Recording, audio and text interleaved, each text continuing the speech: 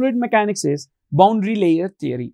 But interesting, but complicated uh, topic is boundary layer theory. The first thing, what do you mean by boundary?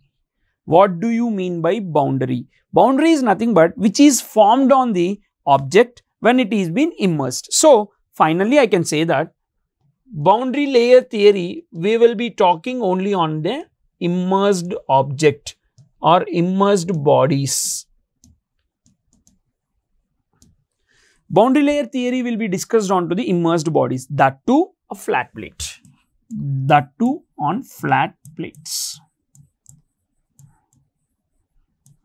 In this topic, a very important concepts or interesting concepts will be seen into consideration. Whenever there is some incoming fluid, when you apply, when you immerse some flat plates, a rectangular flat plate onto the free stream velocity, there will be, when the fluid particle come and touches the flat plate, the velocity of the fluid particle will rapidly fall down and uh, there starts the formation of boundary layer. Boundary layer formation is always uh, a disadvantage for the object. That is, you need to expend some power, you need to give some forces to make the boundary to clear up or else uh, it will be creating some resistance. So, there will be the formation of boundary when the free stream velocities comes and hits the leading edge and the velocity drops down. Again, the velocity of the fluid particle to reach the 99% of u to infinity. u infinity that is nothing but free stream velocity for the boundary layer to be cleared up. In this boundary layer, there will be loss of energy. The loss of energy, there will be some losses been associated with energies that is kinetic energy. There will be some loss with the mass flow rate and the, the and there is also some loss with the momentum. So always a loss is been has been taken into criteria as a disadvantage. So to overcome these all these all the losses, you need to some uh, supply some energy to the body to clear up the boundary layer. The boundary layer again here would be a one mark question for your gate exam.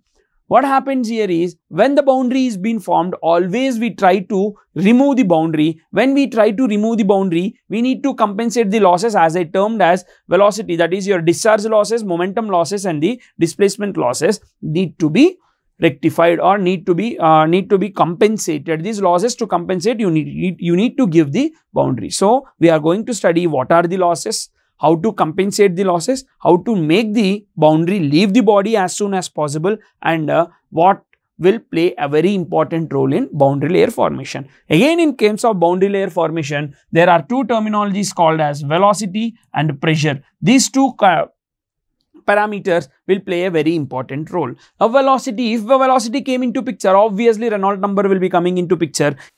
In case of boundary layer theory, laminar flow, Reynolds number Re for laminar flow will be less than or equal to, less than or equal to, less than or equal to 5 into 10 power 5.